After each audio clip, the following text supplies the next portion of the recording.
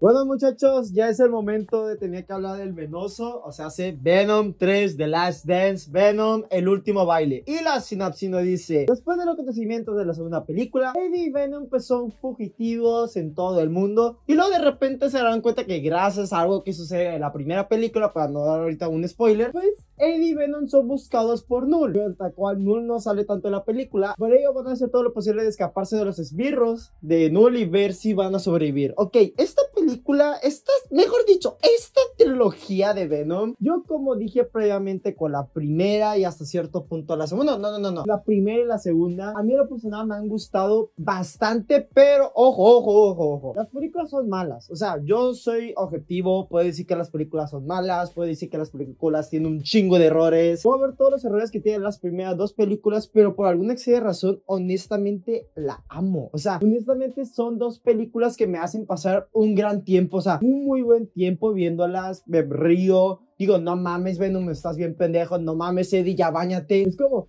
güey, ¿me puedo literalmente, ah, pues, o sea, las puedo ver un montón de veces y no me voy a cansar demasiado. O sea, bañate. Dije, creo que, creo que dije, llámate, pero váyate. Y tal cual cuando se anunció esta tercera entrega, que era muy obvio que íbamos a tener una trilogía de Venom, personalmente sí estaba emocionado hasta que anunciaron que Kelly Marce, que era la guionista de las primeras dos películas de Venom, ella iba a estar la silla de directora. Y honestamente, yo nunca pienso que un director novato puede arruinar una trilogía, o sea, puede hacer un terrible cierre o algo parecido. Pero para mí, Kelly Marce no era la indicada para poder cerrarle esto, ya que las películas de Venom son malas, pero aún así tienen directores que saben lo que están haciendo y hasta cierto punto lo demuestra con acciones o con referencias, meter comentarios. Y ella dice como que creo que Kelly Marcel no va a hacer un buen trabajo en la dirección. Luego después de ahí salieron los trailers de esta película y personalmente no me gustaron los trailers. No digo que sean horribles ni nada de ello, pero no me emocionaban para nada. Era como que ese típico trailer que decía como, ok,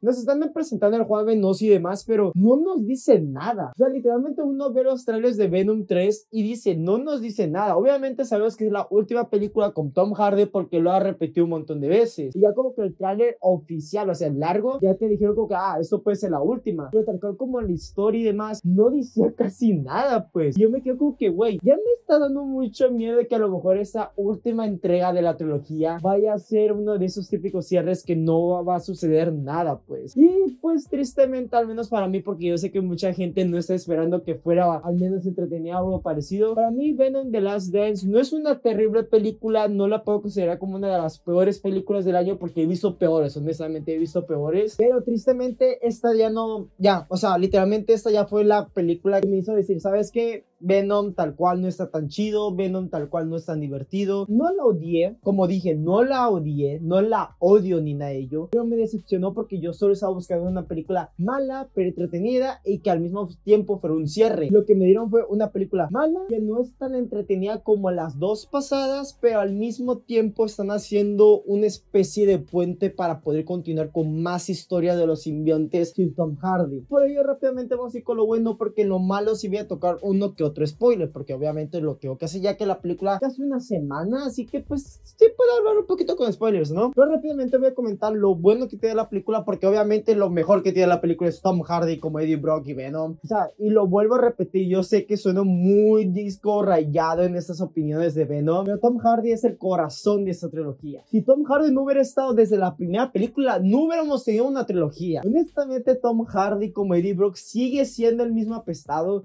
sigue siendo el mismo güey que obviamente Venom le arruinó la vida, le arruinó la relación que tenía con su novia, aunque él tal cual la arruinó, o sea, por una estupidez, y que tal cual lo notas de que ya está hasta cierto punto desesperado de tener la misma vida, aunque hasta cierto punto tengo entendido que la película, o sea, la trilogía ni transcurre un año completo. Bueno, continuando, tal cual puedes ver todo ello en Tom Hardy. Algo que realmente me terminó convenciendo bastante y me terminó como que hasta cierto punto como viendo mi corazoncito con el personaje de Eddie Brock. Es que sí mínimo intentaron todo lo posible de darle un cierre a su arco. Porque como había mencionado previamente, esa es la última película de Tom Hardy como Eddie Brock. Y por obvias razones necesitaban darle un cierre al menos, no digo, o sea, no súper digno ni nada ello, pero que mínimo tenga sentido con lo establecido de las dos anteriores. La película sí lo logra. O sea, sí le logra dar un cierre cierre bonito a Tom Hardy como Eddie Brock y a la vez dentro de todo también todo lo que tiene que ver con Venom. Porque obviamente Venom va a seguir estando en las películas, o sea, dentro del universo, el MCU, en donde sea, pues. Pero aún así me encanta que en esa entrega Venom hasta cierto punto no salga tanto, pero termina reforzando una de las cosas que la trilogía estaba trabajando. Es la vida que se perdió Eddie Brock por tener al simbionte y por las decisiones que terminó tomando durante las dos anteriores. Bueno, más precisamente la primera donde, es donde se toca más sello con lo de Anne y todo ello, pero aún así sí me gusta cómo la película hay momentos que intenta trabajar en lo dramatismo, o sea, lo dramático. Como por ejemplo, todo lo que tiene que ver con esa familia de hippies, que luego vamos y en lo malo, porque sí lo tengo que mencionar. Hay una escena en donde Tom Hardy comparte con el actor y fans, o sea, no es lagarto, no se espera ni nada, que honestamente me gusta. O sea, sí, la familia da cringe, sí, es innecesario y todo ello, pero ese intercambio que tiene entre ellos dos, al menos para mí, termina funcionando por reforzar esta cosa que la trilogía quería hacer. Y sí me gusta como la película, aunque sí siento que hasta cierto punto ya no hacen como que esa relación a Venom y Eddie Brock. Sí me gusta que la película sigue estando con ella como que esa relación entre una pareja, cómo se van peleando, pero al mismo tiempo se dan cuenta que ya no pueden estar juntos por los espíritus de Null y al mismo tiempo que Venom se está dando cuenta que Eddie Brooks está sacrificando, está sacrificando su vida en algo que tal cual él no estaba dispuesto desde un principio, pues. Solo porque al final Venom se quedó con él por la simbiosis, pues obviamente pues se quedaron juntos como una relación entre pareja, ¿no? Pero pues aquí fue como, güey, o sea, ya nos tenemos que alejar, ya tenemos que decir adiós, ya tenemos que hacer este tipo de cosas porque tal cual te estás muriendo, güey, o sea, por mi culpa. estoy arruinando la vida y me estoy dando cuenta hasta ahorita, hasta cierto punto. Y sí me gusta cómo el final de la película no me hizo llorar, o sea, yo personalmente pensé que me iba a hacer llorar, pero sí me conmovió. Sí, la canción está bien pinche pedorra, pero me conmovió un poquito, porque pues yo como había dicho, me gusta Eddie Brock y Venom en estas películas. Así que tal cual ver ese final y sabiendo que es la última de Tom Hardy, hasta el momento al menos que el MCU le dio un contratazo para que aparezca en Secret Wars o lo que sea, pues sí, me conmovió un poquito, o sea, no lo puedo negar. También otra cosa que tengo que mencionar de la película es que al menos para mí, yo sé, esto va a sonar un poquito incoherente más adelante, pero sí me gustó el tercer acto, o sea, sí me gustó la pelea final, que no puedo mencionar aquí porque luego lo voy a mencionar lo malo con los spoilers, pero sí me gustó, yo sé, solo son pues cosas sucediendo, que luego pasa esto y que no sé qué, que no sé tanto, pero para lo que es el cierre y para lo que había reforzado en esta misma película, siento que no estuvo mal. De hecho, yo la estaba viendo con un amigo y dijimos, güey, o sea, literalmente las primeras escenas de batalla, o sea, las primeras escenas de pelea de acción, no se miraron tan bien. Y en esta última, no voy a decir que se miró espectacular ni nada de ello, pero mínimo se deja ver y al mismo tiempo que ya hay un peso, pues, o sea, ya hay un peso narrativo porque la película ya no se la está tomando tan a la ligera. Pues al menos conmigo y con mi amigo que nos había gustado la relación entre Eddie Brock y Venom, no la tomamos un poquito más en serio esa parte y todo lo que tiene que ver con la pelea. Aunque sí hay un momento que se alarga un poquito, pero aún así funciona. O sea, al menos para mí funcionó. Y otra cosa que tengo que mencionar de esta película a favor fue la introducción de Null. O sea, es decir, Null no aparece casi nada en la película. Nada, casi, casi. Pero sí me gustó cómo lo introdujeron, excepto en la primera escena post créditos porque honestamente no me gustó. Para poder hacer como que, hey, güey, a lo mejor no va a haber más Venom, pero pues vamos a continuar con esta mamá. Pues si realmente la gente quiere consumir estas películas o con el Spider-Man de Tom Holland dentro del MCU en general. Eso personalmente sí me gustó hasta cierto punto. Pero ya tenemos que ir con lo malo porque sí, o sea, como yo había mencionado previamente, la razón por la que no terminé odiando esta película fue por Tom Hardy. Efectivamente, Tom Hardy carga con la película para que al menos conmigo no haya sido terrible. Pero si no está Eddie y Venom en escena, al menos para mí, ya lo demás que hay en la película, personalmente no me gustó para nada. O sea, el resto de la película no me gustó para nada. Y es que aquí tengo que mencionar mi mayor problema con la película. Y no es tanto el guion, o sea, sí tiene que ver el guion entre, pues, escrito entre Tom Hardy y Kelly Marcel, sino la dirección de ella. es que para mí, el problema que yo tengo con la dirección de ella durante toda la película es esta mezcolanza muy extraña de tonos, en donde tanto Tom Hardy como Kelly Marcel saben que la audiencia va a estar dispuesta a ver una estupidez, una tontería, algo sumamente bobo. Y por ello, en esta última entrega, ya la película película se va muy en ello. No es como la segunda que la dirección de Andy Serkis sabía lo que estaba haciendo y aún así funcionaba muy bien porque Andy Serkis sabía cómo dirigir el tono y como hay una mezcolanza de, ok, no la vamos a tomar en serio, pero al mismo tiempo vamos a tener esa escena con los soldados, con los militares, con los científicos, con la familia, estos momentos dramáticos entre Ed y Venom, pero también queremos ser estúpidos, queremos ser irreverentes, queremos ser babosos, queremos ser payasos. Pues no funciona, al menos para mí no funcionó para nada. Porque yo miré el cambio de tono en cada escena, o sea, cada storyline de la película y no me gustaba. O sea, yo decía como que, güey, pásate con un tono. Me hubiera gustado que se lo hubieran tomado más en serio para hacer el cierre de trilogía y no tanto estar cambiando de un lado a otro, porque al menos para mí el humor de la película no está al mismo nivel de las dos anteriores. Sí, humor tonto, humor baboso, humor... sí, sí, sí, ya sé, ya sé, ya sé, ya sé. Al menos funcionaba. O sea, bueno, no siempre, pero había chistes que funcionaban. Para mí la segunda tiene chistes muy buenos, obviamente sé que son estúpidos. Y en esta debes de darme risa, me dio cringe. Y aquí es donde tengo que ir un poquito con los spoilers. La escena entre la señora Chen y Venom bailando una canción de Ava. Amo Ava y todo lo que ustedes quieran. Pero personalmente esa escena me dio mucho cringe. O sea, debes de divertirme, debes de reírme, lo que sea. Me dio mucho cringe. Y yo sé, la película se llama The Last Dance y hay un baile. Pero yo creo que lo pudieron haber introducido de una mejor manera. Porque tal cual yo dije como, que yo no soy una de esas personas que se enoja de que, ah, ay, es que el Venom de estas películas es sumamente tonto, es sumamente infantil, es sumamente esto. Porque hay historias de Venom que es así. O sea, no mames. Y por eso a mí no me molesta tener esta versión de Venom. Que yo pude hasta cierto punto entender por qué pusieron un baile en esa película. La forma como lo introdujeron, cómo hicieron que bailaran, cómo hicieron ciertas cosas. Personalmente no me gustó esa escena. O todo lo que tiene que ver con la familia Moon. También lo mismo me dio mucho cringe. La primera escena como lo introducen, no tanto la que tiene que ver con uno de los esbirros de Null, sino la primera que tiene que ver con Eddie Brock. Personalmente no me gustó para nada. Luego cantan una canción de David Bowie tampoco me gustó para nada la escena. Me dio mucho cringe porque se alarga. O sea, yo pensé que hasta cierto punto se iba a romper. Me gusta esa conversación entre Eddie y Venom con el significado de la canción, pero tal cual como que digamos la escena, la escena, no, me dio cringe. Y así la película tiene varios momentos como lo que tiene que ver con un pin de la Navidad. Personalmente, no mames, qué pedo. Y pues en sí la película me dio más cringe que risa, pero sí tiene sus momentillos, o sea, esos beats de comedia. Que lo mismo es Tom Hardy. O sea, Tom Hardy un buen timing comédico y hay momentos que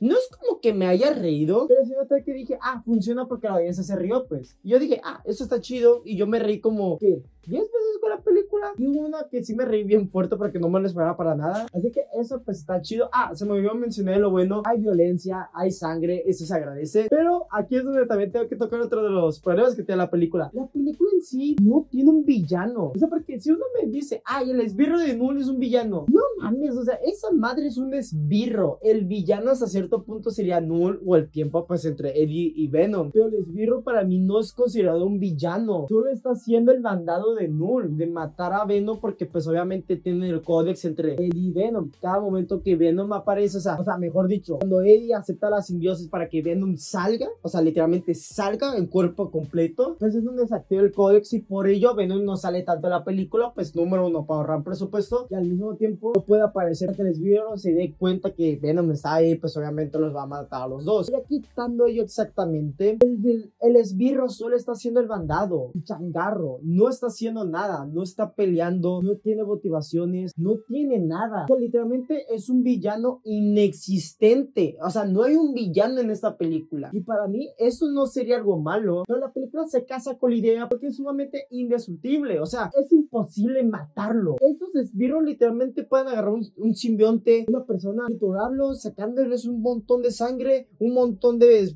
cosa pues, gelatinosa los simbiontes y listo. Literalmente los esbirros no son nada de la película y a mí me molestó mucho porque dije, chingada madre, ten un villano a la verga. Y si no quieres un villano, no lo introduzcas. Y luego pues tenemos a los militares. Que personalmente la historia que tiene que ver con el personaje de, de Teddy Payne, o sea, la doctora Teddy Payne con lo del pasado, de su hermano, con lo del rayo. No es que se me hizo terrible, pero se me hizo muy melodramático. Y cada momento que se hace referencia en ello con lo de la piel, con lo del cuello, o haciendo como que un juego entre él y pues obviamente el personaje de Stephen Graham, o sea, el detective Mulligan, pues es como, güey, no me interesó mucho su historia. Personalmente es un personaje que tampoco me lateó mucho. Luego tenemos el personaje de Chiwetel Ejiofor que se llama General Rex. Está haciendo órdenes, está haciendo cosas. Odia a los simbiontes porque obviamente son militares, pero tampoco tiene nada. Y luego tenemos a la señora Christmas. Y por ello, cada momento que estamos en esas subtramas, tanto el de la familia como el de los militares, personalmente me aburría mucho la película. No la pude disfrutar como las dos anteriores de ser rápida, entretenida, disfrutable, a pesar de ser estúpida, muy tonta, sino que aquí es tonta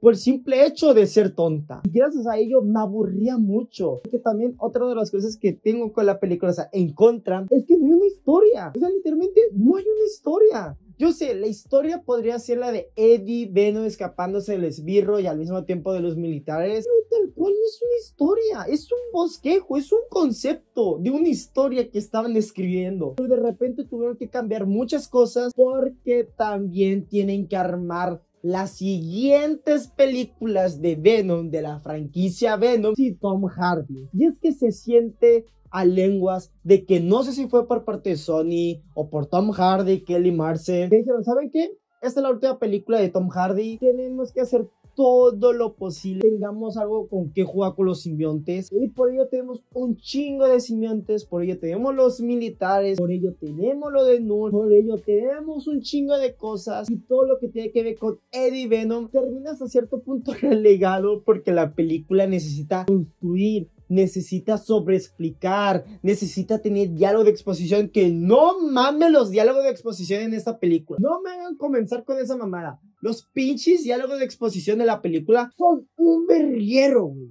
Literalmente tenemos al personaje de Mulligan, creo que es Slasher, si no mal me equivoco, el nombre del simbionte, o sea, en los cómics. Y literalmente solo existe para darle la información a los militares, a los científicos, de lo que ya sabemos porque ya Venom se lo dijo a Eddie. literalmente la película tiene un verguero de diálogo de exposición tan pero tan innecesario que para mí ya es un insulto. Yo sé, la primera y hasta cierto punto la segunda también tenía diálogo de exposición, pero no lo arruinaba. O sea, como que eran diálogos de exposición sumamente estúpidos, sumamente rápidos. Obviamente no los notabas, pero aquí pasamos tiempo y tiempo y tiempo y tiempo repitiendo lo mismo, lo mismo, lo mismo. Vuelve a ser cansado, vuelve a ser estúpido, vuelve a... Se torna cansado, se torna estúpido, se torna una falta de respeto, al menos para mí, mi amigo. Dijimos, cabrón, o sea, yo entiendo, yo entiendo que esta información es necesaria porque va a haber gente que no lo va a captar a la primera. Pero que tengas que repetir lo mismo que Venom dijo, es una mamada, pues. O sea, al menos para mí, es una mamada. Es esa. Me tocó los huevos los diálogos de exposición en esta película. Luego también visualmente. O sea, la segunda tenía un estilo bastante bueno porque el fotógrafo de la película, si no me equivoco, déjeme ver rápidamente, era uno de los cabrones que ha trabajado con Conte Tarantino últimamente. Y es que se nota lejos el cambio dentro de un cine. Ah, Robert Richardson fue el de la segunda película y es que se nota a lenguas el cambio que hubo. No es mentira. Aquí literalmente la paleta de colores no voy a decir que es inexistente porque tiene sus momentos, pero termina siendo ese gris que ya hemos visto un montón de veces en las películas de superhéroes, o mejor dicho, dentro de Hollywood en los últimos años, en la última década. No hay una propuesta, no hay un juego en las escenas de acción, al menos las primeras. Hay momentos que junto a la edición, que la neta hay momentos que está desastroso la edición de la película, no alcanzas a percibir casi nada. Hay momentos que te quedas como, güey, ¿por qué la cámara está apuntando aquí? porque no se fueron al otro ángulo. No sé, o sea, literalmente te quedas como, güey, ah, toman decisiones tan pendejas que es inexplicable, pues. Otro de los problemas que yo le encuentro a la película son las escenas post-créditos. Honestamente, no tiene madre las escenas post-créditos en esta película. No tiene madre. La primera, la de Null, de que, ah, güey, ya voy por ustedes a la verga, al estilo de Thanos. Pero